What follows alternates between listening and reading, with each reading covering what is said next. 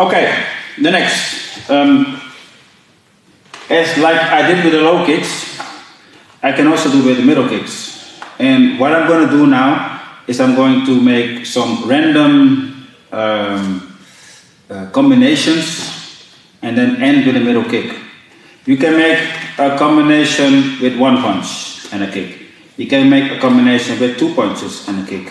You can make a combination with three punches and a kick. You can even do it with four punches. Basically, it doesn't matter how many punches you do. If you if you if you end with a kick, and don't do the same thing all the time, because then your opponent will see what's happening. So, for example, I start with left hook uh, and and a right uh, middle kick. So it's simple. One. Now I'm gonna make uh, two left hooks. One, two, three. It's already different. Yeah? I'm gonna make uh, left hook, right straight, left hook, right middle kick. Yeah? Um, those are the things that, that are important. Um, the same thing I'm gonna do with right. Yeah? I'm gonna make right straight, left middle kick. Yeah?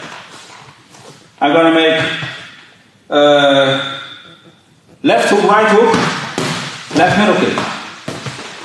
I'm gonna make left, left middle kick. Okay? So the the ways to do that is like you have so many different ways.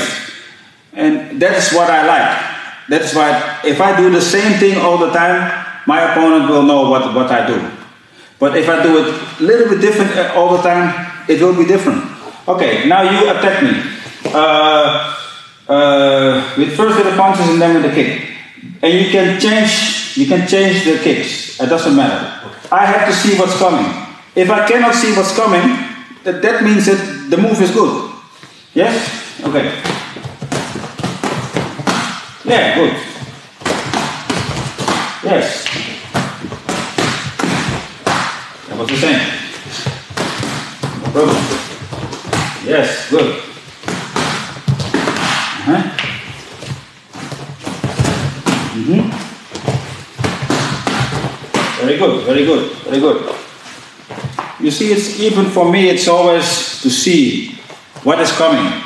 What is coming? It is not easy. When if you do the same thing, it's easy. After three times, you know, oh, he's going to do this.